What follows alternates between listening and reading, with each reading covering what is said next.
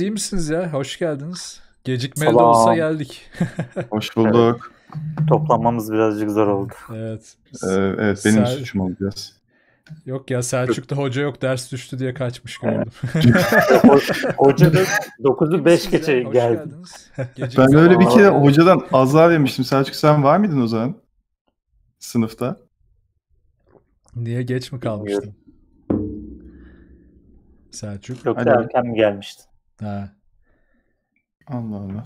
Selçuk gitti galiba. Selçuk geliyor mu ses? Yo ben buradayım. Ha tamam Geldi, geldi şimdi. Pardon geldi sesin. Demin gitti de Allah o Allah. yüzden. Ha. Arada bir şey Tamam. yapmadım. Olur abi internet olur öyle şeyler. İnternet böyle. Ama şey dedin orada erken geldin dedin eteme çok Evet. sert girdin üzdün çocuğu yani. Evet. ya. sabah sabah. Ethem de ne kadar üzüldüyse artık sesim mesimi kapattı yani. Yok ya, şu yeni, yeni düzene kurdum ona alışmaya çalışıyorum. şey mi mikrofonu mu değiştirdin sen? Şey laptopa bağladım bu sefer. Ha laptopa bağladın. Ha güzel. Chat'e Ha. de bir soralım. Sesleri iyi mi? Bir sıkıntı var mı? Yayını izleyenler bize bir feedback yaparsanız. Size böyle yarı Türkçe yarı İngilizce konuşarak ajansçılığımı hatırlatmak istedim. İyice asimile oldun zaten. Oldum ya artık burada. Geçen e, burada yolda vergi e, borcuna takılıyordum az kaldı. Nasıl oldu diyeceksiniz. Yolda yürürken bir tane adam e, Simba'yı sevmeye başladı. Sonra öyle Evet. hoş beş muhabbete girdik. Sonra dedi ki işte bizim mahallenin girişimcilik grubu var Facebook'ta işte LinkedIn grubumuz var. Siz de girişimci misiniz falan dedi. Ben de yok ben girişimci değilim freelancer'ım dedim. Tamam işte her freelancer bir girişimcidir falan diye adam böyle gaza geldi. Ondan sonra işte Chamber of Commerce'a işte şeye üye misiniz falan dedi. Yo dedim ama üye olmanız lazım lütfen falan dedi. Ya dedim ben yayıncıyım yayıncı yani öyle bir şey değil. Yayıncıyım deyince anlamadı zaten. Kafası karıştı uzadım oradan. Az kaldı vergi alacaktı herif falan. Hayda. Ama ayaküstü değil mi? Vergi memuruymuş oğlum anlamadım. yani Gelişine ya. İnanılmaz yani. yolda yürürken vergi memuruna denk gelmek nasıl bir bahtsızlık Kardeşim ya? şey deseydi çok iyi olmaz mıydı? Bu ülkenin ekmeğini yiyip suyunu içiyorsan vergisini de ödeyeceksin. Bu Hollanda'nın BK'sı için diye deyip. E nasıl gidiyor nasılsınız? Yoğun mu işleriniz bu ara? Keyifler nasıl? Az yoğun ya. Vay Biraz güzel. benim de öyle. gitti yani. Ne var elinizde Ben- gizli değilse? Şey mi? Sende ajans işleri vardır Selçuk. Aynen. Ajans işleri var. Hatta ben şu anda çalışıyorum bir yandan. Öyle. Vay be. Ya işte değerini bilin Selçuk. Chat. İki dakika ara ver kardeşim. Bize sohbet ediyorsun. Sen Abi Ethem- benim bugün 3 tane video yollamam lazım ya. Öyle diyeyim ben sana. Vay. Videoda ne yapıyorsun ya? Animasyon mu? Yok şey ya ama boş ver işte. Öyle böyle. Oo, videolar. özel video. Gizli özel video. Böyle Selçuk Ben artık de- kişiye özel düğün videosu hazırladım. Böyle Ha, işte. Aynen. Aynen abi baktın. Para orada. Çizgi roman mizgi roman yalan deyip. Sen ne yapıyorsun Ethem? Ben bir tane müze açılacak. Hadi gizli değildi. Bunları böyle mal mal anlatıyorum da. Onun için bir animasyon yapıyorum. Ama neyle ilgili olduğunu söylemeyeyim de bari çok belli olmasın. Ha yok söyleme canım olsun gizliyse gizli. Ama güzel Animasyon işte hazırlıyorum. Peki Biraz- hiç gerçekten sizden şey isteyen oldu mu? Hani düğün davetiyesi çok isteniyordu ya. Düğünün girişinde video istiyorum böyle bana güzel bir animasyon falan. Yok o kadar olmadı ya. Davetiye oldu ama. Aynen. Daveti oldu hatta benim benim şöyle bir tane davetiye hikayem var abi. Bir şey vardı. Hatta freelance illüstratörlüğü bırakmama sebep olan olaylardan bir tanesidir yani. Ee, bir tişört işi gelmişti. Hmm. Ee, o tişört işinde işte bir, önden bir para verdiler tamam mı? Yani bir avans olarak. Ben de işte fikir buldum birkaç çizim yaptım falan. Sonra elemanlar şey dedi. "Ee, biz birazcık düşünelim değerlendirelim ondan sonra şey yapacağız dediler. Abi ondan sonra bir hafta sonra konuştuğum kişi şey yaptı. Ya bir şey ufak bir davetiye iş var. Şey onu yapar mısın? Ödemesini yapacağım dedi tamam mı? Ben de hani daha yeni işe başlıyoruz. Tamam yolla hani yapayım 5 dakikada bir şey olmaz diye. Davetiye yolladım abi. Ondan sonra şey dedi. Bu sana yolladığımız avanstan avansa karşılık yaptın sen bunu diğer iş iptal etti dedi. Oha. Oha. Oha. Ha. çakala bak. Aynen. Ondan sonra dedim Ne eyvallah kadar abi. karaktersizsiniz demedin mi? Yok kahkaha attım abi ne, ne diyeceksin o saatten Aa, sonra oha yani. baya şey çakalı şark kurnazı gibi. Aynen. Çok Ya acayip. abi o hafta bak şöyle oldu. Bu adamlardan böyle cevap aldım. Sonra Hür- Hürriyet gazetesine çizim yapıyordum hafta sonları için. 3 ya da 4 hafta sonu için çizim yaptım. Ondan sonra Hürriyet'ten bana şey diye döndüler. İşte çok komik bir para ödeyeceklerdi. Telif. Hı hı. İllüstrasyon için böyle 200-300 lira mı? Öyle bir şey yani. Neyse tam ödeme yapacaklar abi. Konuştuğum adam şey yaptı. Benden işleri alan adam. Hürriyet gazetesi karar aldı. Bundan sonra şey e, illüstratörlere telif vermeyecekmiş. Ne demek vermiyor ya? Bir gün durup dururken değil mi? Böyle CEO arıyor böyle. Artık illüstratörlere Evet abi. telif yok falan. Ama niye belli değil yani. Rezillik. Abi rezillik ve şey işte hani bunlar böyle üst üste böyle saçma olaylar başıma geldikten sonra şey dedim abi tamam abi benim için illüstratörlük, freelance illüstratörlük bitmiştir deyip Oluyor ya böyle kazalar. Valla işte en son hafta içi şeyi de delirttiler. Burak'ı da delirttiler onu gördüm geçen hafta. Ee, artık kimseye destek vermeyeceğim lanet olsun. Ha o başka söyledi. bir dilime boyutu. Biliyorum biliyorum da hani işte artık yani her seviyede böyle ya soru soruyor. Yani, yani hiç alakasız normal sokakta yürüyen vatandaş da soru sorarken aynı şeyi yapıyor. En tepedeki artık işveren parası parası olan zengin de aynı tepkiyi veriyor. E, artık sizin sizi baydılar yani onu anladım ama ben konuyu şuraya getireceğim. Sizi şu yüzden takdir ediyorum. Bu kadar olumsuzluk, bu kadar iş. Yine de bireysel üretime devam ediyorsunuz yani. Hatta Selçuk bu hafta şu 9 panellik çizgi romanlarını Hı hı. salmaya başladı. Valla ben çok beğendim. "E, eyvallah. Ya, yani e, ondan biraz bahsetsene. Nasıl ne yap nasıl düşündün, ne yapacaksın, niye onları yapıyorsun vesaire. Nereden Ya çıktı şöyle, fikir? Şöyle şu zamana kadar iki tanesini yayınladım. Ee, üç ve dördüncüsü de hazır şu anda. Süper. Yani dört tane çizdikten sonra yayınlamaya başladım. Ee, oradaki niyetim şey ya şimdi hep ben böyle uzun böyle ya kitap yapıyorum ya böyle fasikül formatında iş yapıyorum. Şey konusunda isteseniz kısır döngü sokuyor abi. Hep aynı karakterleri düşünüyorsun. Hep böyle bir belli bir olay ve hep onun etrafında dönen şeyleri düşünüyorsun falan. Kafan Hani- açılmıyor değil mi? Tıkanıyor gibi hissediyorsun. Hep aynı Evet şeyleri tıkanıyor bir de hep hani bir de isterseniz abi hani içinde bulunduğum koşullar yüzünden hani çok uzun sürüyor benim üretim. Evet. Hani Şehzade Yangın'ın mesela hani Şehzade Yangın'ın bir kitabını üretmem en iyi ihtimalle 9 ay sürüyor tamam mı? Kasaba oturuyorum 6 ay kasapla uğraşıyorum falan. Tabii. Başka hiçbir şeyle uğraşamıyorum. Dedim yani uzun zamandan beri de şey aklımda vardı abi. Hem böyle şey hiç diyaloğun olmadığı tamamen görselle hikaye anlatabilir miyim? Hı hı. diye çok uzun zamandan beri düşünüyorum. Yani 200 senedir düşünüyordum. Ondan sonra işte bir şeye ihtiyacı duydum. Hani böyle çok küçük bir oyun alanında yani çok az panelle ne kadar girift hikaye anlatabilirim. Bunun birazcık egzersizini yapmak istedim. Bu idman Öyle gibi işte- zaten ya. Yani harbiden idman gibi yani. Aynen yani şey e,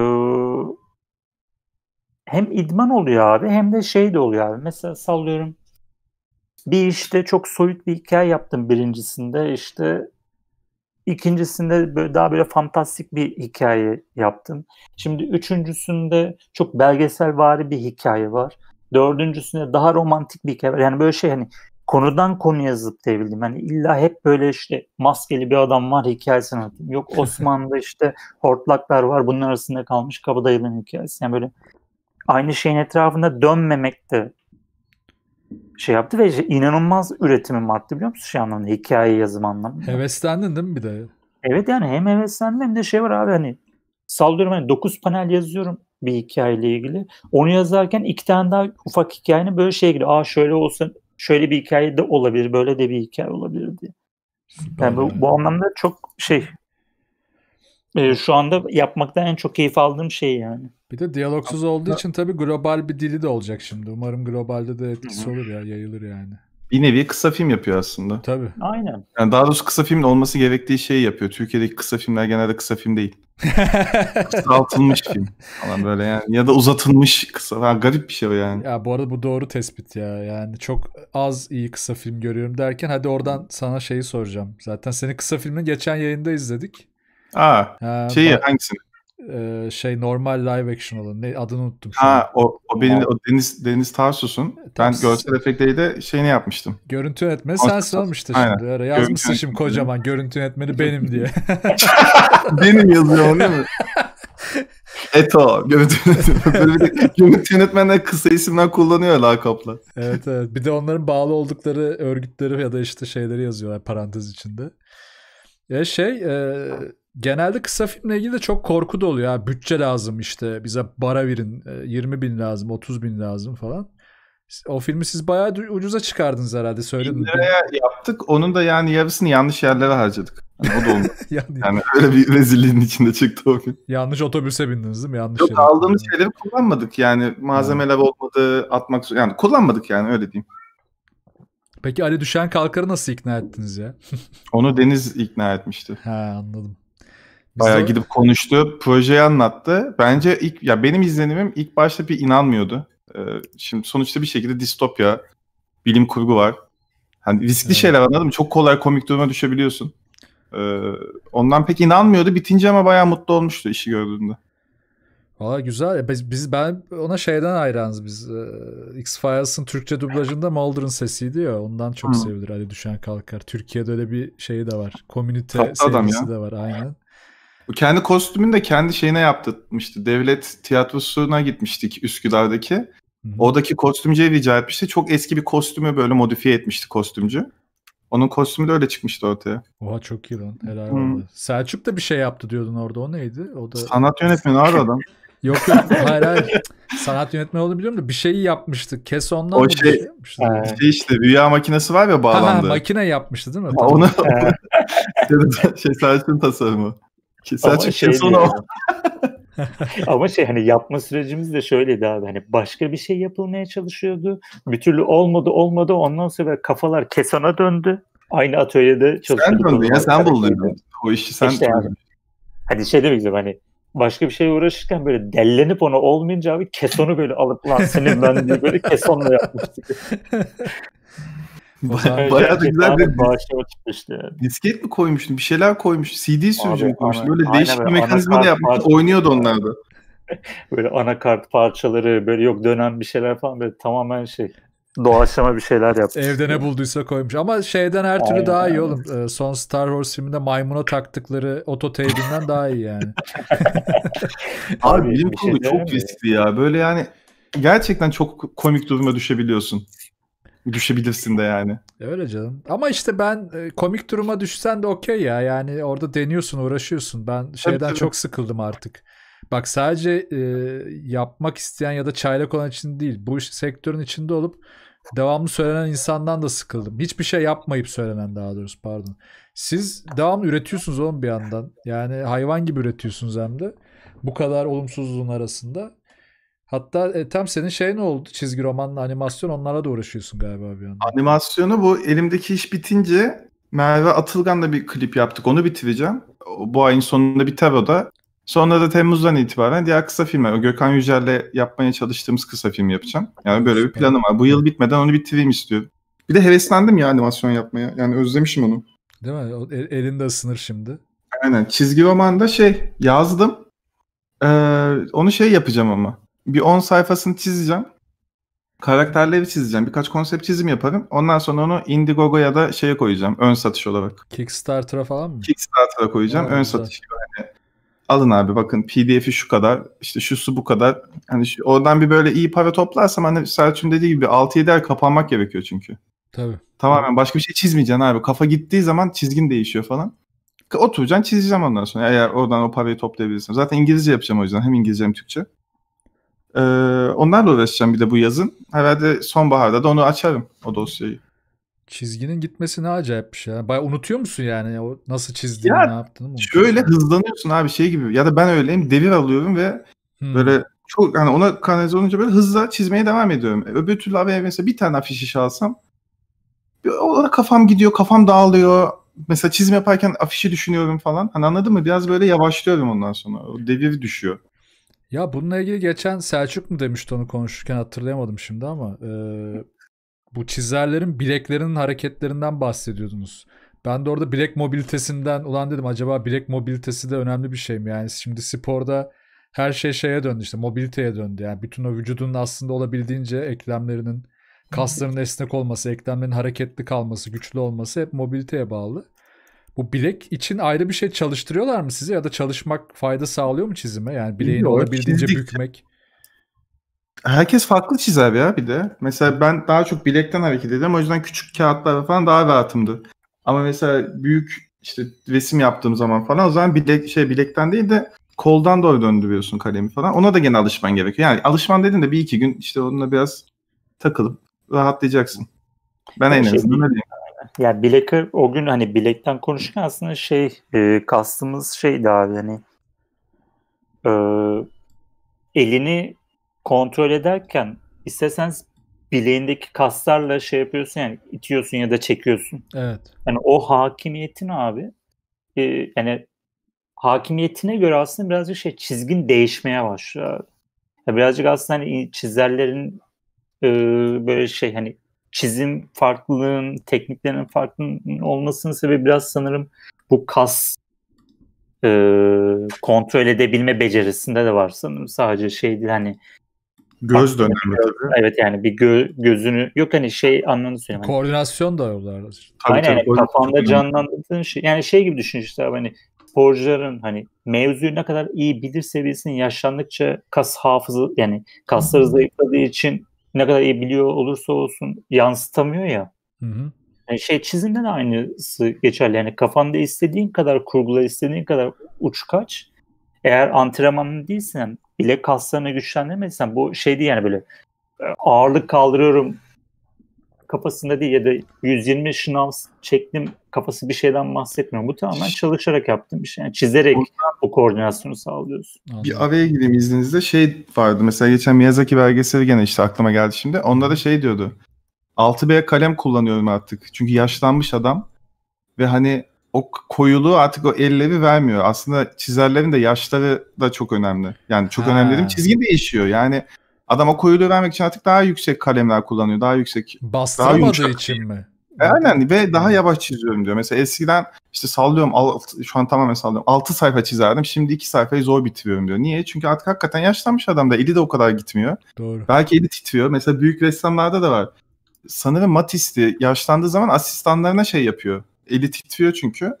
Ee, oraya şöyle bir çizgi çiz. Buraya bunu yap falan. Hani direktifle resim yapıyordu falan. Ee, ondan önce de daha titrek çizgileri görüyorsun mesela. Yıllar içinde titremeye başlamış eli çünkü. Çizgilerini düz çekememeye başlamış. Hani yaş da mesela değiştiriyor çizerleri. Onu ben şeyde Böyle bir aradan söyleyeyim. e, sporcu şeyde fark etmiştim. E, çizerin adını unut- unuttum şimdi. Bir şey Junior da artık o da yaşlı ya. Babası da çizer, kendisi de çizer. E, neydi adamın adı ya? Şu an hiç aklımda değil. Neyse hat- hatırlarsam söylerim. Çizgi romanlarında e, hatalar belli olmaya başlıyordu adamın yani. Böyle tuhaf e, vücut şekilleri falan. Bir bacak biraz daha kalın öbürü bir tuhaf duruyor falan. Eğilmiş. Onu kendi bilerek de yapıyor olabilir ya. Yok pek bilerek gibi değildi ya. Yani hatta Abi bayağı şey, eleştiriliyordu şeylerde. Bazen ama şey teknik değişir insanların. Hı. Hani Ya, zaman geçtikçe hani şey mesela Picasso'nun ilk başladığı dönemki yaptığı çizimlerle sonlara doğru yaptığı çizimler arasında hani birazcık Şey şey, çünkü hayata bakışın değişmeye başlıyor. işe karşı geliştirdiğin fikirler değişmeye başlıyor. İşi üretirken önem verdiğin şeyler değişmeye başlıyor. Bıdı bıdı zilyon tane şey var yani. ama bu dediğim şey şöyle ya. Yani bayağı adam mesela bir sahne var akış. Bir yerde bacağı gözüküyor. Gözüküyor gözüküyor. Bacak kaybolmuş. Öbüründe tekrar Ha. gözüküyor falan. Hani bayağı böyle kafası gitmişti. Evet Başka evet şey- yani o tip şeyler evet. oldu da öyle ya. Ben bile ben bile dedim ben de bazen şey oluyor böyle eski çizimlere bakarken aa bunu nasıl böyle yapmış falan bir şeyleri unutmuşum mesela yani. ya işte Ya da mesela dediğim şey işte çizgi romanda da mesela adam sallıyorum iki gün ara verdiyse üçüncü gün şeyi unutur ha. Yani arada kullandığı şeyi unutabilir başka işlerle de uğraşıyorsa. Doğru. Ya işte herhalde dışarıdan bakınca size hep e, çok kolay buna bakarak çiziyorsunuz falan diyen tayfayı bir kenara bırakıyorum. Onlar hiç anlamıyor da Hı hı. Kolay gel gelip ya da zor ol ya pardon daha doğrusu ne kadar zor olduğunu anlaşılmama nedeni o. Yani tamam sen bunu biliyorsun. Kağıda oturduğun anda yapacakmışsın gibi bir algı var dışarıdan bakınca herhalde. Ondan öyle oluyor. Çok Ya olur mu? şey Geçen-. Şeyi okudum. Alegoriyi okudum. Geçen dedim de bayağı oldu. Ee, Mobius'un. Hı, evet, o bile güzel. şey diyor. Mesela bitirmiş vermiş sonra içine oturmuş gibi şey diyor. Bir iki sayfa yeniden çizdim falan. Hani Anladın mı böyle ve çok içime sinmişti ama bir anda böyle hani tam konsantre olamadığımı fark ettim. Ta en başa yeniden dönmüş adam bitirdi. Ya bir de kısa bir çizgi roman onu da biliyorsun. Tabii tabii biliyorum bayağı. Ona rağmen en başa dönüp bazı sayfalar yenilemiş. Yeniden yapmış. Çünkü bütün o süreçte en başta başlıyor. Biraz kafası karışık başlıyor haliyle. Oturuyor çizgisi ortada. Sonunda artık kendini buluyor. E, en başa baktığında tutarsız yani. Çünkü Evet. arayış da o en baştaki sayfalarda. O yüzden en başa dönüp birkaç sayfa yeniden çizmiş. İşine olan saygısı işte adam bir yandan da ya ne güzel. Takı ha, bu arada evet, John Romita Jr.'dan bahsediyordun. Evet chatte yazmışlar. Aynen Ben bilmiyorum bahsediyorum. Ya onun babası da işte eski çizer. Kendisi de çizer. Bu arada şey de yani. önemli. Bak keman çalarken de el titremesi demişler. Benim de piyanist arkadaşım vardı. Ee, O da böyle parmaklarını açmaya çalışıyor. Devamlı onun idmanını yapıyordu. Herifin parmakları yani o grabbing, e, grab kasları, o kavrama tutma kasları bayağı kuvvetliydi. Parmaklarını kaldırabilmek için. Çizimde de var sanırım. Yani ne kadar çok egzersiz yaparsan o kadar elin açıldı diye bir terim var mesela. Hı hı. Elim açıldı abi bugün çok iyiyim falan diyorsun. Ya da para vereceğim gibi değil mi? Elim açıldı artık size para dağıtacağım. Açıyor böyle. Ethem abi bir 10 lira ateşlersen öğrenciyiz al abi. kardeşim al diye böyle. ya da bir anda gönlünden kopuyor beleşe böyle bir hayvan gibi portre çiziyorsun falan. bir yandan da senin şeyler güzel gidiyor ya. Ben de uzaktan uzaktan onlara hasta şey bakıyorum yani. Jordan ve en son Arsenal posteri yapmışsın Sokrates'e. Evet. Onlar çok Orada- güzel olmuş ya. Caner Erel sağ olsun beni böyle özgür bıraktı. İstediğim biçimde yapabilirsin dedi. Böyle daha Helal. şu an daha sevdiğim tarzda yapıyorum. Daha ne diyeyim kendimi rahat hissettiğim, kendimi daha da geliştirmek istediğim o siyahı daha sert kullanma durumları. Onun üzerine işler yapıyorum. Hoşuma gidiyor işler. Fena olmadılar. Arsenal çok tatlı olmuş ya. Ama işte şeyi konuşmuştuk ya aslında alanın olsa böyle bir e, tek kompozisyon değil de 6-7 panellik belki o işte Bergkamp'ın muhteşem işte arkadan aşırtıp attığı golünü belki çizmek falan. İşte onu ben şeye söyledim. Caner'e söyledim. Ben sundum. Dedim ki dünya şey Avrupa Kupası mıydı? Avrupa Kupası geliyor abi. Gel Avrupa Kupası tarihinden e, şey yapalım. En güzel golleri ya da böyle hani anladın mı? Ya da anlatmak istediğin takıma bir sayfa çizgi roman gibi yapalım. Bir golün hikayesi gibi hani. O işte sallıyorum. Jürgenberg pas veriyor, prese pres, topu sürüyor. Sallıyorum şu an. Vieira'ya veriyor, aşırtıyor. Bergkamp tamamlıyor falan. Ama bunu böyle hepsini şey Arsenal posteri böyle değil şu an benim yaptığım. Hani o kopuk kopuk. Başka başka sahneler. Hı. Ben tek bir golü yapalım istiyordum. Onu da derginin içine yapalım istiyordum. Bayağı ama tabii işte- yani. Avrupa Kupası da erte- ertelendi. O işte şimdilik kaldı. Belki ileride yaparız. İleride olabilir ya. Bu şeyler falan yapıyordu aslında. Amerika'da falan dergiler böyle küçük e, çizgi roman ortasına çizgi roman şeyi eki gibi koyardı böyle 3-5 sayfalık. Hı. Hatta- Son zamanlarda golleri de yapıyorlar farklı. Şampiyonlar Ligi falan da yaptı böyle şey çizim. Evet. Ya da telif sorunu olduğu için çizim de anlatıyorlar golleri falan. Ha evet yani çok daha güzel ya. Şey, İyi arş- yapanı var, kötü yapanı var. Yani direkt video üzerinden çizeni var. Böyle onu anlıyorsun zaten. Ama Hı. bazıları çok iyi ona örnekleri. Abi yorum katmak eğlenceli ona ya. Şey gibi güzel olur. E, Tsubasa gibi falan bayağı havalı olur yani. Aynen aynen ben onun peşindeydim. Böyle şey diyordum yani daha hani süper kahraman gibi anlatalım falan. Peki abi şey dedi Ama ya şimdi. Ha, pardon. Ne? Pardon abi. Ne? İşte tek sayfada yapacaktık. Ha tek sayfada yapacak. Hı hı. Ya işte belki tek sayfa diye başlayıp 9 sayfalık bir ek haline 9 gol falan gibi 10 gol. Ben onu Yani. 3-4 sene önce Sokrates'in daha 2-3. sayısıdır yani yeni sayılarından birinde şeyi yapmıştım. Pan- Panenka'ydı değil mi? Panenka değildi. Panenka. Panenka, Bu penaltı. Evet. Onun öyle çizgi roman gibi çizmiştim. İşte topa geliyor hop böyle vuruyor kaleci başka tarafa top böyle süzülüyor falan sonra gol sevinci falan. Hani güzel. onu da böyle çizgi roman gibi çizmiştim o zaman. Oradan biraz aklıma yatmıştı bu iş. İşte Selçuk'un fikri de onun gibi işte güzel. 9 panel işi çok keyifli Hı ya. Ya da belli bir sayıda panelle. Peki abi şimdi mesela Ethem şey dedi işte ben biraz daha tarzımla ilgili değişiklik yapmak istiyorum ya da işte yeni şeyler denemek istiyorum. Bunu yaparken e, Selçuk da bahsetmişti. İşte mesela Mitch Gerards'ın Mr. Miracle'ı hoşuma gitti işte orada öykünüyorum mesela Gerards'a falan diye. Böyle birilerine öykünüp mü yapıyorsunuz yoksa dur lan şöyle bir şey deneyeyim mi diye aklınıza mı geliyor? Nasıl yapıyorsunuz onu? Bir şeyler hoşuna gidiyordu. Ondan sonra onu kendine uyarlıyorsun. Mesela ben Mignola bu arada çok okumuştum. O sert e, gölge olayını biraz ondan. Bir de şey e, Brodek raporu. Ha, O ikisinden sonra o siyahı daha net kullanayım abiye döndüm mesela. Ben de öyle oldu. Selçuk sen Mr. Miracle'ı sevmiştin değil mi?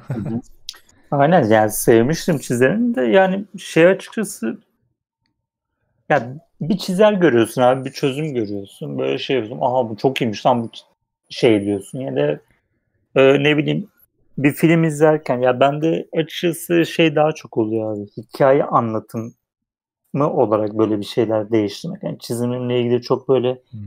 bir Panel şey kullanımı değiştirmek. falan sen biraz daha onlarla uğraşıyorsun galiba. Aynen panel kullanımı ya da şey hani hikayeyi yani mesela şu anda bu 9 panellik işte şeyi yapmaya başladım. Normalde ben mesela bir şey, sallıyorum işte karakter koltukta oturuyordur. Elinde bıdı bıdı bir şey vardır. Onunla ilgili ilgilenirken işte yüzünde böyle bir ifade vardır kısmını normalde çizerken şey yapıyorum böyle iki ya da üç panelde çiziyordum tamam mı? Mesela şimdi bu 9 panellik şeyde bunların hepsini tek panelde nasıl anlatırım bulmaya çalışıyorum. Yani bura, bu aralar hani böyle şey hani çizim tek yani estetik olarak nasıl görüneceğinden ziyade şey daha çok kafa patlatır oldum. Orada daha çok değişime uğradığımı hissediyorum. Bayağı anlatım konusunda. Aynen anlatım, görsel anlatım, kamera açıları, şeyler. Çünkü bir noktadan sonra hani yani ben tekil böyle illüstrasyon yapmadığım için etem gibi ben daha çok hani bir sürü ardışık gelen çizimle hikaye anlatmaya çalışıyorum. İsterseniz oralara daha fazla şey kafa patlatmaya başladım. Şeyi şeye çok kafaya takmıyorum açıkçası hani. Te- çizim tekniğimi nasıl geliştirebilirim, daha iyi nasıl bir noktaya getirimden ziyade hikaye anlatımın daha iyi nasıl e, bir şey yola sokarım, daha iyi nasıl anlatırım. Bazen hiç diyalog olmadan çünkü isterseniz abi bazen şey oluyor. Diyalog yazmak seni tembelleştiriyor hikayeyi anlatırken. Şey gibi hani Türk dizisi mantığında. Evet, düşünmeni Hani oyun- engelliyor. ya. Sahneyi düşünmüyorsun da ne diyeceğini düşünüyorsun devamlı. Aynen. Ya da şey oluyor abi hani hikayeyi anlatarak değil de şey yapıyorsun hani, diyalogla anlatmayı tercih ediyorsun. Yani senarist tembelliği oluşmaya başlıyor yani. Hmm. Oyunculuk yok. İşte hani düzgün bir kurgu yok. Hikaye nasıl veririm ben? Ha işte bu karakter söylesin. Ama bazen şey daha iyidir ya. Göstermek daha iyidir tabii ki. Yani gösterdiğin şey üzerinden anlatmak. Onu herhalde geçen şeyi izledim yine işte yarın konuşacağız. Goodfellas'ı izledim. Ee, Scorsese iyi yapıyor ya. Hem gösteriyor hem anlatıyor ya. Tarantino Şey, da iyi yapar o işi. Cohenler de iyi yapıyor. Cohenler de Şey. Cohenler. Cohen diyorum ya. Cohen. Yani an- dış ses olur ya da bir anlatıcı olur ama bir yandan da hayvan gibi gösterir de yani iyice böyle. Hatta Cohen'lerin şeyi çok iyi ya. Karşılıklı diyalog sahneleri. Yani editleri de çok iyi oldukları için heriflerin oyuncuya karşı rol vermeleri, duyguyu da aktar abi demeleri falan. Hani hem iyi diyalog yazıyor hem de iyi çekiyor adamlar. Ya şey işte abi mesela bak hani bu büyük ihtimalle bizi şu anda izleyen dinleyenler şeyi izlemişlerdir abi. Yakın dönemde yayınlanan Watchmen dizisinde. Sen de hatta kanalda Evet. üzerine konuştun bayağı bir. Aynen. Mesela orada ben şunu çok beğenmiştim abi. İlk bölümlerde daha o şey e, siyahi ablanın böyle gözünü boyadığı bir sahne vardı. Siyah Evet. boyuyordu, kostümünü tamamlıyordu. Şu anda ufak bir spoiler vereceğim. Geçmiş zamanda onun dedesini gösterdiği yerde o da süper kahraman olurken yüzünü beyaza boyuyor ya. Ha evet ya. Mesela Çok güzel bu- detay. Hiç üzerine abi diyalog kurmasına gerek yok abi. Direkt ne anlatmak istediğini o kadar güzel görsel bir şekilde anlatıyor ki üzerine tek bir laf söylese abi çiğ kaçacak bir hareket. O dizi Mesela o dizi Heh. gerçekten iyi bir iş olarak çıktı ve biraz underrated kaldı bu arada ya. Çok da Bence konuşulmadı. de ya. yani. iyiydi. Evet. çünkü çizgi romana hakim olman lazım abi. Bence Evet. o işin en büyük şey sıkıntısı o. Aynen. Bence ben de oradaki de şey ya. Yani çizgi roman üzerine tabii ki de laf söylüyor ama abi bence Watchmen üzerine artık laf söylenmemesi gerekiyor. Yani o eser yaşandı ve bitti. Hani Ama hatta işte üzerine bak, filmi de yapıldı. Ya tamam abi artık. şey iyi planlamış ama orada. Yani aslında üzerine söylemeye çalışmıyor. Başka hani Watchmen'e e, tam tersine zaten Watchmen orada ve duruyor. Seni zorunlu kılıyor. Ki Selçuk bunun sorun olduğu konuda haklı. Yani bu sonuçta bir TV'ye yapılan ya da sinemaya yapılan bir şey. Okey. Hiç kimse başka bir şey okumak zorunda olmamalı. Ben de bunun arkasındayım. Evet, filmin de dışında çünkü bir de okuman gerekiyor. Aynen. Filmi de yetmiyor. çok sevdiği için abimiz ay adını unuttum herifin şimdi. Neyse o abimiz çok sevdiği için e, siz bunu zaten okuyun. Ben baş yani oradan e, başka bir o evrenden bir hikayesini anlatacağım size gibi bir şeye getirmiş. Aynen aynen. Yoksa şey yok ki. O yüzden iyi Doktor yani. Manhattan dışında aslında şey yok zaten. Orijinal Watchmen'e bir de Ozymandias var. Başka da Aa, şey de var aslında. İpek Hayalet de var. Yok lan aslında şey varmış. Ya var Herkes var, var, da hikaye bambaşka, zaman bambaşka yani. Ozymandias bu arada mu- muhteşem bulmuşlar ya oyuncu olarak. Jeremy Irons cuk oturmuş böyle. Abi kastı çok iyi, işte hikaye çok iyi, atmosfer çok iyi e, ki inanılmaz. bakış alakalı açısı. sadece sıkıntım var benim. Evet. Ama, Ama bir şekilde de bitmesi gerekiyordu ya. Ama anlatım olarak işte hani anlatıma dönersek ha Lindelof ya evet adını unuttum bir an. Yani anlatım olarak e, yakın dönem izlediğimiz bir ton işten daha cesur geliyor bana ki Aynen. Temiz. Müzikleri de iyiydi bu arada ya. Yani. müzikler de iyiydi aynen. Abi, Nine Inch Nains'ındı galiba. Karakterleri oluşması da çok iyi ki mesela ayna gibi yansıtan maskesi Hı. olan adamın sen şey, e, psikolojik olarak rahatsız Çok bu arada spoiler'a ayna- girdik ya onu söyleyelim de insanlara ayıp olmasın. Çok Aa, spoiler kimse izlemiyor işte. zaten boş ver. Çok ay, çok ay geçti ya zaman. Çok zaman geçti zaten artık birazcık şey goy goyunu yapabiliriz bence. Yani o yani o dizide abi benim bu anlatmak istediğim şey yani tamam spoiler vermeyeyim artık yani çok da diziye şey yapayım. Yani izlemeyen varsa muhakkak izlesin. Bu görsel anlatıma çok yaslanıyor abi. Ve üzerine diyalog kurmadığı için de şey yapıyor. Çünkü mesela bu Parasite'da şey var ya Ethem mesela şey hani çok basit bir şey olduğunu söylüyor şu hani çizgi çekme olayı. evet. Ee, ben ben mesela hani Ethem'e orada katılmadığım şey bu işte abi. Hani filmi izlerken o çizgi çekmeyi abi insanların gözüne sokarak yapmıyor. Ben mesela çok fark etmemiştim filmi izlerken. Hı hı. Onu İyi de ama şey ben- hissedilen bir şey olarak koymuş. Ben mesela bunu okeyim. Yes. Ama Bence şey o da yani şey ben onu onu uyarlamak istersen her filmi uyarlayabilirsin. Uyarlarsın filmin iyi kötü demiyorum. Tabii ki de filmin içine de böyle bir mesaj var. Okey. Ama bana gösterdiği sahneler ve şey, yani dışarıdan yönetmen değil sonuçta bunu yapan. Yönetmen ya da ekip olsa ba- başka düşünebilirim ama dışarıdan biri bunu böyle anlamlandırıyor ve ona göre çizgi çekiyor. Çizgilerdeki tutarsızlık var. Çizgilerin oradan orasına geçebiliyorsun. Ya o zaman o anlattığın şey tam olmuyor. Yani onu yapıyorsan net olman lazım. Mış gibi olmaman lazım. Net çizgiler var mı? Net çizgiler yok. Çünkü çizgileri aşan, aşıyor karakterler sahnenin devamlarında. Bundan bahsediyorum. O yüzden diyorum yani ben yönetmenin bunu düşündüğüne hiç inanmıyorum. Yönetmen e, aslında daha başka yani o çizgiden çizgi konusundan çok tabi Ethem'i anlıyorum ben orada şeye çok e, ya ya bir şeyde de vardı ya işte e, Marriott Mary Story'de de vay be yazılmış bu sahne oğlum inanılmaz falan. Yani... Sen abi okuyor. inanabiliyor musunuz? Twitter falan. Twitter ahalisi e, hala şeye Parasite'da şaşırıyor.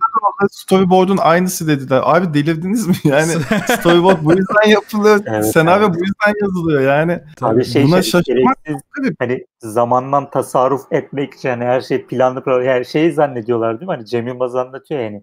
Yani kamerayı koyuyorlar, çekiyorlar. Tabii. Günde çekiyorlar. Orada mesela gerçekten bir emekten bahsedilecekse ki çok standart kamera işlerinin dışında ev konusu daha önemli. Yani oradaki evin mimari olarak yapılması, adamın ona çok emek vermesi yönetmenin Bong Joon-ho. Ev- Abi Zaten- hayvan gibi 3D olmasının onun Evet.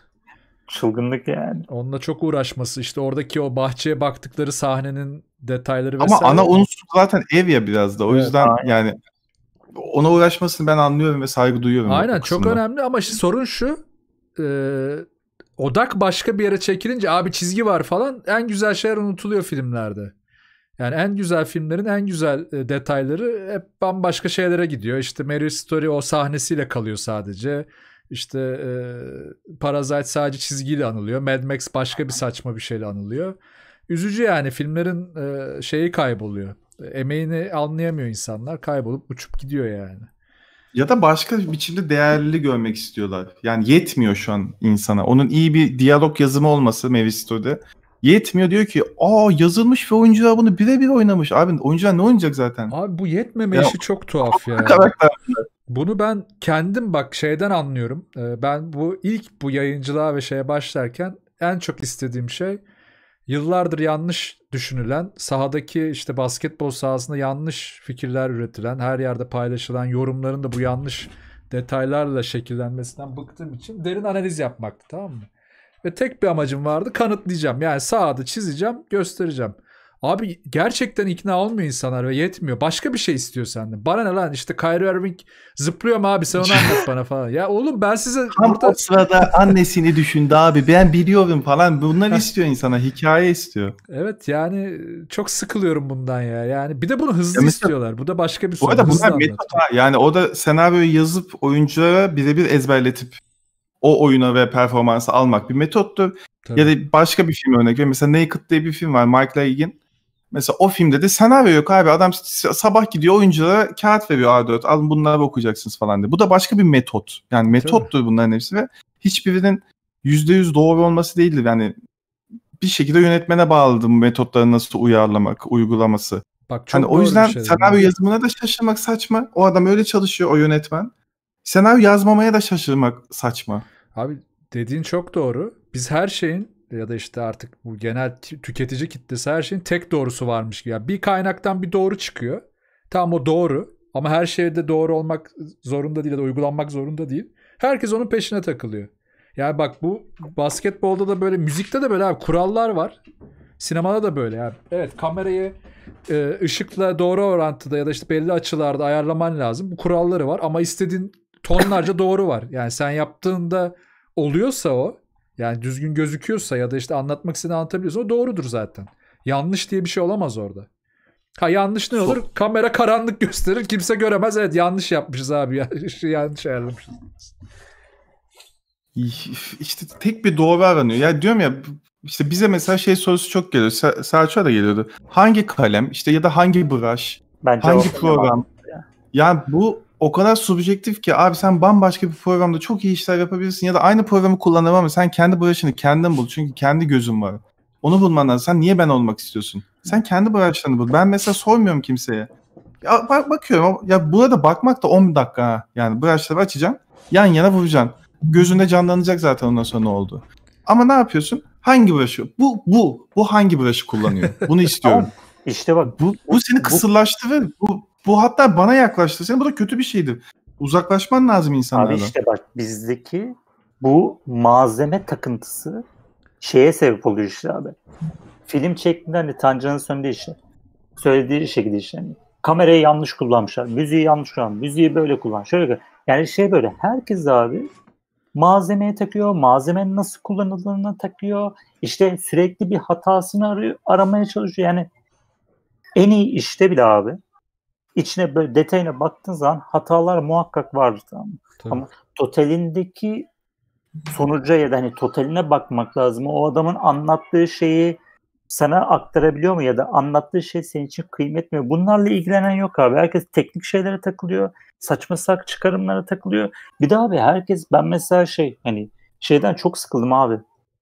İzlediğim şeyi sürekli böyle eleştirmek için izlemekten çok sıkıldım. Yok abi ben keyif almak için bana bir şeyler katsın diye izlemek istiyorum yani. Ama şey hani şu anda abi bu hani YouTube, Twitch bu tarz böyle yayın platformları yüzünden abi insanlar şey hani mesela Tancan'ı dinliyor, Sungur'u dinliyor işte Eten bir şeyler öneriyor ya da bir şeyleri konuşuyor. Ben bir şeyler işte söylüyorum falan. İzleyen kişi de hayata bu şekilde bakmaya başlıyormuş gibi geliyor. Bazen bu yüzden şeyden çok çekiniyorum ben hani bir şeyleri eleştirmek işte şurası şöyle kötü, burası böyle kötü, Doğru. keşke şöyle yapsaydı falan demekten bazen çok çekiniyorum. Bu yüzden. Çünkü bir noktadan sonra insanlar hani bir şey tüketiyorsan böyle tüketmen gerekiyormuş diye böyle bir şablon sunuyormuşsun gibi geliyor. Ama orada kişisel yorum yaptığın belli. Yani sen zaten genel adına konuşamazsın ki. Yani ne bileyim en sevmediğim filmi de seven bir insanlar var. Ya tabii. Ve hani onlar da kendi deneyimleri ya da kendi izlenimlerinden dolayı seviyorlar. Ama işte şu anda şeymiş gibi oluyor abi. Sallıyorum işte. Tancan BVS kötü dediği için abi adam otomatik belki de hani BVS'nin içerisinde bir şeyleri beğenmiş olabilir. Tamam ben mesela BVS'yi film olarak kötü buluyorum ama şeyi çok hoşuma gidiyor soundtrack'i. Açıp dinliyorum tamam mı? Ama hani öyle bir noktaya geliyor ki insanlar abi her şey kötü. Onunla ilgili hiçbir şey tüketemez. Korkuya yol açıyor bu işte. Adam Abi fanatik yaklaşmaya başlıyor Evet. insanlar saçma salak bir şekilde. Hani Tancan beğenmiyor diyor otomatik kendisi de beğenmiyor. Yani Ha, kendisi o- fikir üretmeyi bırakıyor. Ben bunu demek istiyorum aslında. Hazır fikri almaya başlıyor. Sürekli hazır. Hani Tancan ne derse tamam abi o doğrudur onu yapalım. Hani hiç Tancan'ın Mesela Tancan nasıl bir adam abi aslında? Kendisi de sürekli eleştiriyor. Kendisini eleştiriyor ve şey hani Bu arada Hep fikri de değişebilir Tancan 10 yıl evet sonra. yani, evet yani Tancan tanıdığım için söylüyorum bunu. Evet yani fikrini değiştirmeyi zaten şey hani hayat hayatın en hani keyif aldığı şeylerden bir tanesi bu hani fanatik bir şekilde bir şeylerin peşine takılma, kendini geliştirmeye çalışıyor. Bizde şey var ya abi işte döndü. Abi dönmek başka bir şey, fikirlerinin değişmesi başka bir şey. Yani dönmen için çıkarlarının olması lazım. Sana para verirler. Tabii. A Abi- düşünürsen B düşünürsün. Bu dönmek. Yani fikrin Ama sen gelişmesini dönmek 20 değil. yıl sonra artık aynı insan değilsin ki. Yaşlanmışsın, ö- öğrenmişsin, başka şeyler görmüşsün. Hayat Bambaşka şey düşünebilirsin. Yani abi zaten 20 sene sonra eğer hala aynı adamsa bence bir sıkıntı var demek. Evet doğru. Ya tabii canım yani şey korku yaratıyor insanlarda işte dediğiniz şey yani işin mesela e, kafası çalışan bir insan şeyi fark ediyor. Evet bu iş kötü ama ben seviyorum işte Selçuk'un dediği gibi ben seviyorum. Ben hoşuma gidiyor. Ben de abi ben hala açıp arada Kurtlar Vadisi en iyi 10 sahne diye açıp izliyorum tamam mı? Gecenin 3'ü. Ya canım sıkılmış tamam mı? Ne var? Aa işte ona saplıyor buna vuruyor falan. Geçiyorum sonra ama ertesi gün çıkıp da abi Kurtlar Vadisi dünyanın en iyi dizisidir falan diye böyle ya biliyorum çünkü tamam ben de yani yıllarca insanlar bunlardan da korktular. Ya olabilir abi bir şeyler seni o anda Abi rahatlatıyor fikir olabilir yani. yürütmek, fikir. Yani sen bir düşünmen lazım. Ben şey yapmış. Siz hatırla, siz de hatırlarsınız ya bir iki sene önce Kafka kapakları ya. Böyle Evet. bir sürü bir sürü saçma sapan mesajlar, yorumlar, böyle özel mesajlar, ana avrat düz gidenler falan. Ulan Kafka'ya kapak yaptı. Sana ne ya bir kere yani. Hayır sanki bir de tek Kafka'ya kapak yapan da ben bin tane piyasada örneği var abi. Git onlara git o zaman bunu beğenmediysen ki beğenmemek hakkındır tabii ki de. Tabii bir de Yok kaf- ama ve bana şey diyor. Kafka mektup yazdı. Tamam güzel yazdı var o mektup. İyi de bu mektubu yazdığında ki daha kitabı basılmadı bu adamın. Artık 90 sene geçmiş. O kitabın dönüşümünü ne anlattığını artık herkes biliyor. Yani kapağına o sürprizi taşımanın bence bir mantığı şey bir durumu yok diye kendimce fikir yürütüyorum ve bunu arkasında duruyorum. Bu bir fikirdir. Ve bunun karşısına da durabilirsin. Tabii ben- ben böyle düşünüyorum artık. Buna karşı buna küfür etmek, sen kimsin lan Kafka adını düşünüyorsun demek. Değil mi? Kafka tabii. Deli. Ulan ben ben kimim? Ben yayın evinin tuttuğu adamım. Grafik tasarımcıyım ve kapak tasarlayacağım. Tabii ki de bir fikir düşünmem lazım. Yani sen asıl sen kimsin? Okuyucuysan ve bunu sevmiyorsan başka tabii ki de başka yayın evlerinin kapaklarına gidersin. Sadece şunu anlıyorum. Korkuyoruz abi düşünmekten. Yani bir fikir üretelim. Orada hiçbir şey yok yani. Bunun da alt me- metnini yapmıyoruz. Çünkü mesela Kafka'nın bu mektubuna bakıyorsun ve diyorsun ki abi kitabında böcek istemiyor adam kapağında. Okey. E, abi bu adam bir sene sonra da benim kitaplarımı yakın diye mektup yazdı. Onu niye sallamıyorsun ve kitabı okuyorsun? Ayıp değil mi adamın düşüncesini o zaman? Abi bu neden oldu işte bak yayından önce sen seni beklerken Selçuk'la konuşuyorduk. Burada sana minik bir ineme yaptım. ne oldu? Yok şeyi konuşuyorduk. Ee, yani insanlar devamlı e, bir şeylerin cevabını arıyor. Ee, yakınlarda işte benim bu günlükte bir video serim var. Orada da ben şey demeye çalıştım hep. İşte yani ben size fikir veremem ya da cevap veremem ama tecrübelerimi aktarırım. O yoldan çıktım yani oraya. Hatta hani işte sizi herkes motive etmekle ya da işte hayatınıza cevap verebilmekle sömürüyor. Ben de aslında tam tersini yapıp sömürüyor gibi bir durumdayım aslında kusura bakmayın. Ama Abi, önemli olan şu ki ya? insanlar hep şeyi bekliyor. Yani abi ben oturuyorum biri bana bir şey söylesin yapayım. Yani hayatımı da öyle geliştireyim, sevgilimi de öyle bulayım, çocuğu da öyle yapayım, işimi de öyle değiştireyim, okulu da öyle okuyayım. Tamam mı? Ya bu böyle olmaz abi. Bunu böyle yapamazsın. Biri bana ilham versin. Hayır. Ya olmaz abi öyle bir şey yok. Yapamazsın yani. Tabii birileri seni heyecanlandırabilir, fikir verebilir, duygu uyandırabilir ama sadece onunla tamam abi bu böyle yapmış ben de böyle yapacağım. Kafka böyle demiş ben de artık böyle yapıyorum falan. Olmaz abi öyle bir dünya yok. Bundan kurtulmak lazım bence. Abi birisinin sana ilham olması Düşünmek başka lazım. bir şey. Hani bizdeki şey durumu var işte abi bu anlattığın da. Hani birisi bana ne yapacağımı söylesin. Eğer o iş olmazsa ben ona küfredeyim. Yani Heh. sorumluluğu aslında o Doğru, cevabı doğru. kim veriyorsa onun üzerine bırakmak. Sorumluluk almıyor abi kimse. Doğru sorumluluk doğru tespit ya aynen. Ya onun korkusundan e, annem dedi, babam dedi, Tancan abi dedi, Aynen Selçuk abi. abi dedi. E, tam öyle dediği için yaptım. Lanet olsun ona falan. Hani Aynen. kendi O- yapmadı o hatayı ama. Aynen abi. Tancan önerdi bu filmi. Bok gibiymiş. İşte Ethem önerdi bu broşu. Sik gibiymiş. İşte Evet. Selçuk bu çizgi romanı önerdi. Bu neymiş diye Abi, böyle E, Şey işte mesela dün şey Wayne'in filmini ben çok seviyorum. Dün bir tane yorum gördüm şey yazıyor. Ee, bu nasıl film Allah belanızı versin falan. Ya adam da beğenmemiş. Tamam sen de beğenmedin. Demek ki bana başka yerlerden dokunmuş. Benim deneyimlerim bambaşka. Zaten biz aynı insan değiliz ki. Tabii. Ben başka şeyler severim. Sen başka şeyler seversin. Sen o yüzden bir kişiye şey yapamazsın. Bütün bel bağlayamazsın. Senin kendi düşüncelerin olması lazım ve bunlardan korkmaman lazım. Bu ara onu şeyde fark ediyorum artık. IMDb en popüler hesaplardan biri ya bu konuda eski bir de. Orada böyle 6-7 arası puan alan hani yani vasat duran filmlerin Metacritic yani daha böyle e, farklı yorumculardan gelenlerin ortalaması alındığında daha yüksek puanlar aldığını görüyorum. İşte film 6 almış IMDb'de Metacritic 80-85. Ve bu filmler genellikle iyi çıkıyor. Yani benim açımdan. Oradan da genel bakışı anlıyorsun yani bunu. Genel kitle bu filmi beğenmez. Ya da genel fit, kitle evet bu filmde e, aradığını bulamamış. Çünkü aranan şey de hep e, aynı konuya geliyor işte.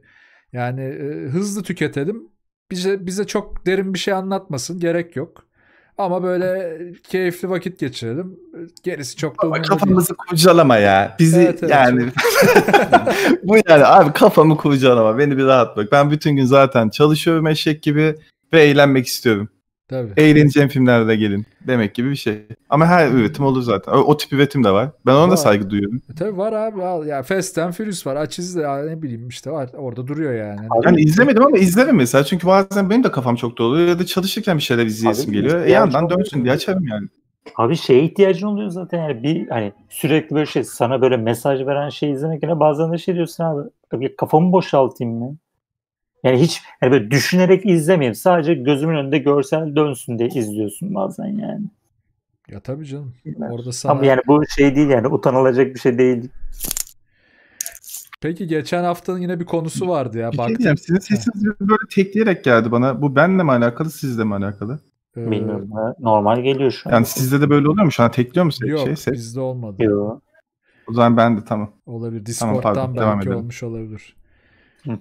Geçen hafta şey e, konusu vardı. Ethem de cevap vermiş. Selçuk yazmış mı görmedim işte. Senden bir bok olmaz dediler şöyle oldum falan diye herkes Twitter'da paylaşıyor. Hiç yaşadınız ben mı böyle bir şey? Vermedim. Yaşadın mı sen? Herkesin sen? vardı böyle bir hikayesi. Ben. Enki Bilal'le yaşadım ya işte abi. Ha sen, sen de kralından yaşamışsın ama. Millet orada şey ilkokul öğretmenim şöyle dedi. Enki Bilal bana yapamazsın dedi falan. Aa, evet onun öyle bir hikayesi var. Ya ama şey ben ne bileyim abi çok sallamıyorum o tarz akımları Twitter'da zaten. Yok akımdan ama... değil de şey yani böyle bir şey yaşadınız mı cidden? Hep böyle tarihte de vardır ya adam çok yetenekliydi ama okuldan kovmuş. Jordan'ın bile evet. var yani. İşte böyle işte senden bir bok olmaz okumazsın gerizekalı deyip işte kovmaları gibi işte. Bak bunlar ilham verici mesela. Bunlar bence daha iyi insanları yönetmedi. İşte Bunları hiç kimse almıyor. Ama kimisine ilham veriyor. Yani kimisi mücadeleci oluyor. Kimisi gerçekten gaza getirmen gerekiyor. Yani insandan insana değişen bir şey bu durum. Tabii. Ve biraz coğrafya kadar durumu da bununla alakalı. Mesela sallıyorum şu an bilmiyorum yaşamadım ama bildiğim kadarıyla anlatacağım. İşte daha kuzey İskandinavya'da yaşasan ve daha böyle hani pohpohlanmaktan, üzerine düşünmekten motive olan bir insan olsan daha rahat gelişirsin. Ama Türkiye'de olunca ağzına sıçtan bir insansan daha rahat gelişiyorsun. Yani bundan bundan gaza gelen bir insansan. Maalesef öyle. Her, yani. Aynen her şeyde hani Türkiye'yi biliyorum ben isterseniz. Mücadele etmen gerekiyor ve o hani mücadele ederken bir şey kafaya takmışsan abi elbet birisi gelip sana şey diyor yani hani bu olmaz. Bu şey yani mesela okulda hani ismini vermeyeyim şimdi. Bir hocam vardı. Bir ödev için illüstrasyonlar çizmiştim. Hoca baktı illüstrasyonlara. Dedi ki bu dünyadaki bütün dergilerde basılır bu işler ama para kazanamazsın dedi. Ben o esnada illüstrasyondan para kazan yani illüstrasyondan para kazanıyordum. Kazandığım parayla Cihangir'de tek başıma oturuyordum. Anladın mı? yani ama şey sürekli karşı yani sallıyorum yani yakın arkadaşım ben güzel sanatları hazırlanırken hani bu şeyinden bu fikrimden bahsettim de abi. Yok abi olmaz kazanamazsın falan filan diye muhabbet dönmüştü. Aç kalırsın muhabbeti dönmüştü ama şu anda şey yani elbet hani olumsuz ya da kendi hayal kırıklığı yüzünden senin de bunu yaşayacağını düşündüğü düşündüğü için bu şekilde tepki veren adam oluyor ya. Tabii. Ya iyi niyetli de olabiliyor tabii de o anda Aynen. iyi niyet tabii her zaman da işe yaramıyor yani. Yani, yani Enkibilerle yaşadığım şeyde de öyleydi abi. Adam şey değil ki hani böyle siktir çekip beni kovmadı ki oradan yani. Sadece dediği şey şuydu yani çizgi roman çizeri olmaz senden illüstratör olur. İllüstrasyona Hmm. odaklan. Ama man- nedeni de anlatmıştı. Evet, Yani şey değildi böyle dümdüz y- yorum değildi o. Aynen aynen Evet. ben onu demek istiyorum işte. Yani bir sebebi var, bir düşüncesi var. Yani istersen sen bir de hani ben Enki Bilal'e portfolyomu göster, yani defterimi göstermeye çalışıyordu adam. Defterime bakıp kendi tecrübesiyle defterimde gördüğü şeyi yorumlamaya çalışıyordu. Bir de oğlum seni tanımıyor ki. Yani senin şeyini de bilmiyor. Sen nasıl çalışıyorsun, ne kadar dedikesin, hayatın nasıl geçiyor, buna ayıracak vaktin var mı yok mu? Yani, Yani nasıl bir e, ortamda yaşıyorsun bunları bilmiyor ki adam. Ya o anlık senden aldığı bir hype'la ya vibe'la bunu yapıyor. Bir görüntüyle yapıyor. Yani okey o zaman onu zaten birkaç tane tabii canım, da yapıyor işte yani. Hı hı. Tabii bir de- Aynen o zor bir yorum yani. Birkaç işine bakıp. Tabii çok zor. Ya şey anlaşılmıyor bir de. Hep biz yıllarca şey aradık ya Türkiye'de de bu sorun var işte. Dijital yatırımcılık yapacak. İşte biz de yeni Facebook bulalım yeni bilmem ne yapalım. Oğlum hani bazen olan şeylerin iyisini yapma. Bak Türkiye ser, yani e, hizmet olarak çok iyi ya. Mesela Uber gibi bir şirketin ben Türkiye'den çıkmasını beklerim mesela. Ama biz buna odaklanmıyoruz. Biz Facebook yapıp onun sadece dijitalmiş gibi düşünüyoruz. Uber gibi firma çıkardın ya yemek sepeti de aynı mantıktaydı. Dünyada Tabii, tutmayan tabii. bir sistemi adamlar oturttu Türkiye'ye. Çünkü Aynen uydu. işte aynen çok doğru örnek ama Çünkü işte dü- dünyada çok pardon çünkü Heh. dünyada yemek sosyalleşmektir yani dışarı çıkmaktır. Bizde ise tam o çadır kültürü olduğu için ya da bizim ev yapımız bir de aynıdır. İçe kapanmaktır. Yani yemeği Tabii. hazır getirsen ben evde yiyeyim gene arkadaşlarıma da yiyeceksem. Aynen öyle. Ama biz ne yaptık abi mesela Uber konusunda ya da yemek sepetine ikinci bir alternatif çıktım ya da onun benzeri iyi bir hizmet çıkmadı abi. Mavi taksi alıp koyduk. Çıktı ya o da şey oldu. Ya çıktı da abi yani üzerine gitmiyoruz. Şey değil. Şey zannediyoruz çünkü. İlle yaratıcı bir fikir olmalı ya da işte Ha. inanılmaz epik bir fikrimiz olmalı. Bak bu bireyde de böyle. Ya herkes ulan ben bunu yapabiliyorum bunu daha iyi yapayım da uğraşmıyor. Başka yeni bir fikir bulayım. Bambaşka böyle kaf uçsun kafalar uçsun her şey kopsun falan işte. En en acayip şeyi ben yapayım'a gidiyor. Bu da bence. Yine kendi güvensizlikle alakalı. E tabi. Bu arada bak Getir deyince şey geldi aklıma. Getir'in aynısını abi 80'lerde yapmışlar biliyor musun? Yapar Şöyle. Ben e, bir reklam filmi için işte bir adamın anılarını çizdim. İnternette vardı da şimdi unuttum ya şey firmanın adını. İlk Böyle animasyon yaptık. Adam şeyi anlatıyor abi. Girişimci adam. e, ve bunun üzerine ders, üniversitelerde dersler de veren bir insan. Şimdi ismi, onu da ismini unuttum. Neyse unuttum. Neyse. O, neyse olaya geri dönüyorum. Olayı unutacak mısın? Ya bulup, şimdi bulurum da birazdan bulup söylerim. Neyse olay şu abi adam şeyi kuruyor. Ben işte bir girişimciyim. Ee, bir şey hizmet aşıya kurdum diyor. Olay şu abi 5 tane çocuğu karşısına oturtmuş Beyoğlu'nda. İstiklal Caddesi'nde bir tane ofis tutmuş. 5 kişiyi 5 çocuk ufak çocuğu karşısına oturtmuş. İnsanlara abonelik dağıtmış. Abonelik şu abi. Telefon açıyor adam. Kadın. Kimse. Ha. Diyor ki bana 2 kilo kıyma, 3 tane işte ekmek, şu bu diyor. Çocuğu yolluyorsun. Çocuk alıyor bunları. Kadın da parasını veriyor ve geri geliyor çocuk. Mükemmel. Abi adam şunu anlatıyor. İlk hafta 100, ikinci hafta 500, üçüncü hafta bizim 1000 tane üyemiz, abonemiz oldu diyor. Abone diyor pardon üye demiyor. Abonemiz Abone oldu diyor. diyor. Vizyona Yani düşünsene adam. hani yükselişe. Ki e tabii biz- sonunda adama çökmüşler. Mafya gelmiş. Adamın dükkanını yakmışlar ve adam kaçarak Ankara'ya dönmüş ama ya. Müthiş bir son. Ee, ama hani şey yani anladın mı? Mesela Getiri adam ilk böyle mahallede kurumsallaştırmış aslında. Ki bak çok iyi fikir ya. Yani bizim bir kültürde vardır ya camdan bir teyze çıkar küçük küçük diye bağırır ve sepet uzatır. Yani aslında bu Küçük ya. ya buna ben hep gülüyorum. Küçük nedir abi? Evet, Çocuk da değil. Küçük. yaşadınız mı bunu hiç? Ben çok yaşadım. Abi yaşadım ona çok güldüm zaten şu an. Küçük. Küçük. ya çocuğum ya küçük yani daha ötesi yok. O sepet indirilir sana bir para verir. Güvenir sana yani hani. Böyle bir güven var oğlum sokakta düşünsene. Şimdi sen sepeti indiriyorsun ve para var içinde. Sen ipi çeker sepeti düşürür. Seni de aşağı indirir. O parayı da alır cebindekini de alırlar yani. Hani. Hoş sonra da dediğin gibi adam da mafya yak, e, dükkanını yakmış yani. Yapacak bir şey yok da. Abi işte hep böyle bir e, bizim doğamızda olan işleri işe çevirmek konusunda hep böyle kendimize ket vuruyoruz Türkiye olarak. Bu çok üzücü yani. Sonra da başka şeyleri dövmeye çalışıyoruz. E oradan da işte hani bu şeyden hani X senden bu olmaz şey olmaz konusu aslında biraz Türkiye kültüründen geliyor. Ona bağlamaya çalıştım. Ya o kendi güven, güvenmiyoruz kendimize ya. Fikirlerimize de güvenmiyoruz.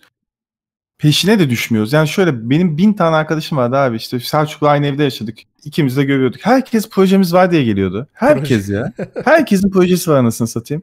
Kim yapıyor? Kimse yapmıyor abi. Bu arada projede yani fotoğraf projesi mesela git çek abi. Niye çekmiyorsun? Evet. Ne senin elinden tutuyor?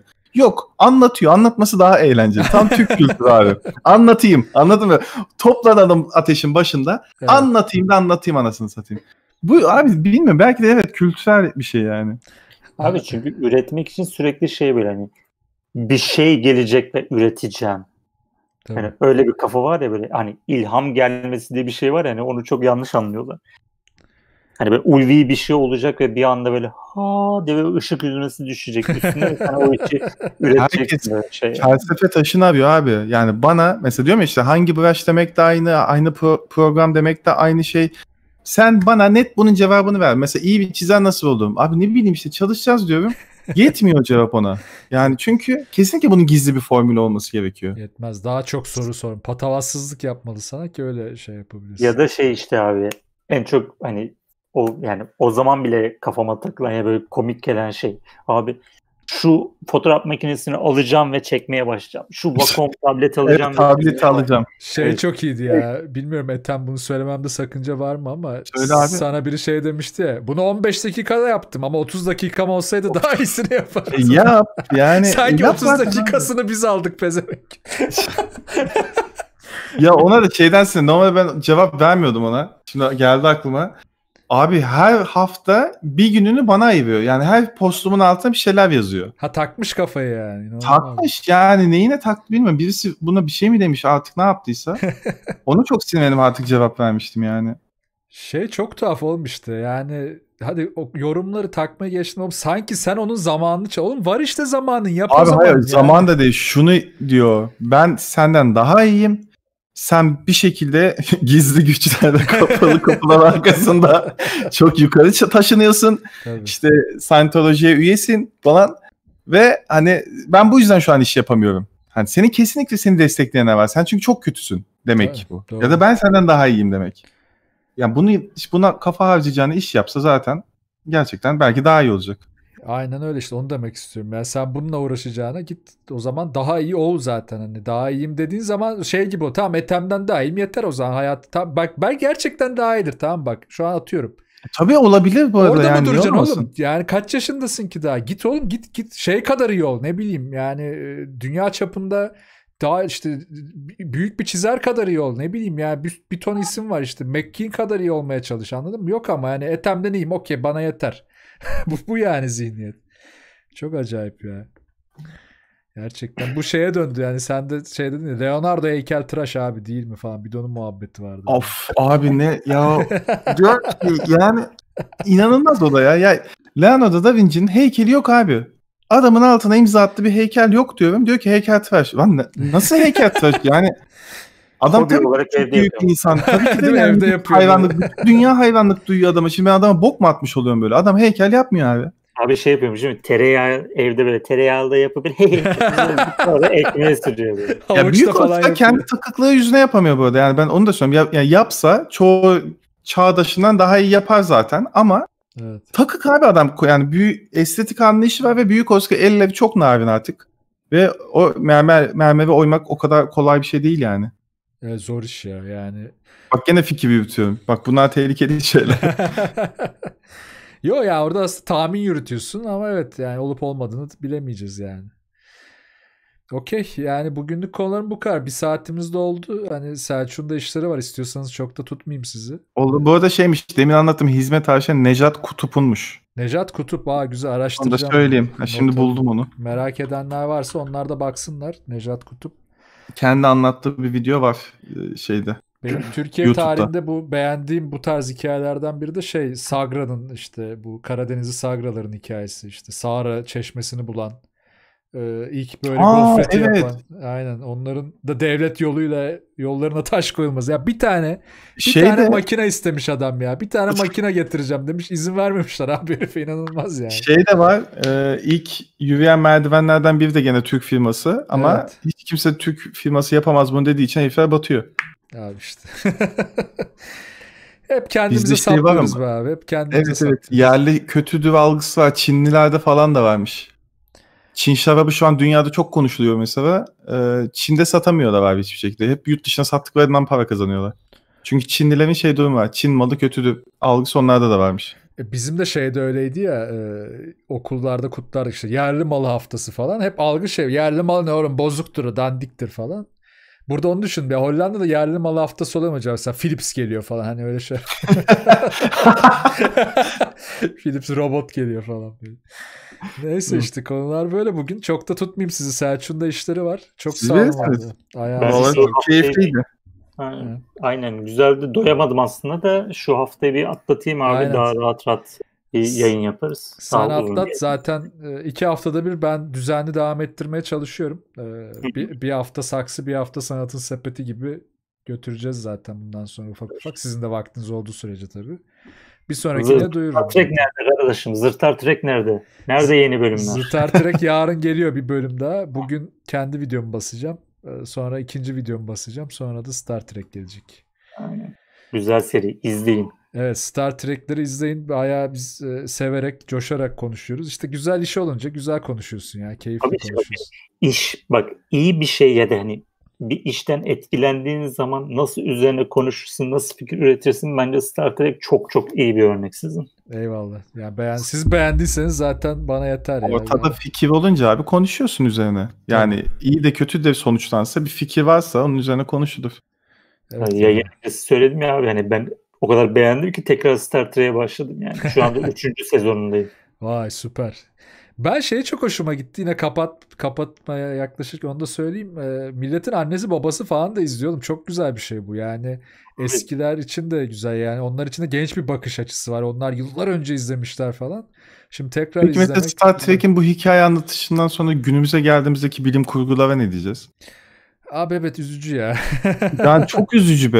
Yani ta- tersi olması gerekmiyor muydu? Abi Abi işte işte.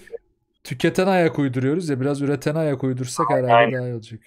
Çünkü yani şey tüketeni zorlamak yerine onun yani kolaycılık yapıp abi onu istediğini yapılıyor. Burada şey geliyor ya sanat sanat için midir, sanat halk için midir?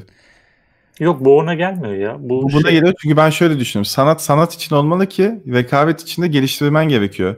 Sen eğer halka inersen bütün bir genele yaymaya çalışırsan o ilevi seviyeye çıkmaya çalıştığın şeyi indirmen lazım insanlar anlasın diye. Aynen ya. Tamam böyle açıklarsın. Evet katılıyorum. Ya tersini de çalıştırırsın işte. Sanat sanat içindir ama halkı da o sanatı anlamak için e, iyi. Halkı oraya tabii ki anlatacaksın ama halkın Evet. tamamı için iş yaparsan seviyeyi düşürmen gerekiyor. Evet. Zorlamaktan bahsediyor. Yani bence Evet. tam böyle şey. Hani ikisinin arası. Hani tamamen böyle şey. Hani sanat sanatı içinde Ben de sanatın şey sanat, için- anlaşılamaz. bir şey. sanat kelimesini kullanıyorum burada. Sanatın sanat için olduğunu düşünüyorum. Şey Olması miyiz buna? Pardon. Olması gerektiğini düşünüyorum. Ilımlı sanat diyebilir miyiz? Şey, Sanatın Şey sepetinden merhabalar.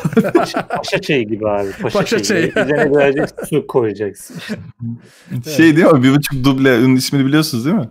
Ne o? Ne? Rakı, rakıda bir buçuk dubleye de orospu dublesi diyorlar ya. Hayır, bir yani. laf ama yani böyle bir laf var. Yine rakı kültürünü araya ya. sıkıştırayım. Bütün rakı hiç kültürünün yok bu dediğinin. bu bambaşka. İşte ben ben anlamı var şu an dediğiniz o bir buçuk durumunun. Yani ya olacaksa olsun ya olmasın. bütün rakı kültürünün de cinsiyetçi olması zaten inanılmaz. Tabii canım ya orası inanılmaz da neyse. iç iç iç iç. Ah, Watsın bu evil diliniz. Buradan da Ethem de mesajını verdi. Öpüyorum o zaman sizi. Kendinize iyi bakın. Ben de Ee, yakında bir sonraki programı duyuracağım. Yine orada görüşürüz. Hadi bay tamamdır. bay. Dinleyen herkese de çok teşekkürler. Öpüyorum hepinizi. Aynen. İyi akşamlar.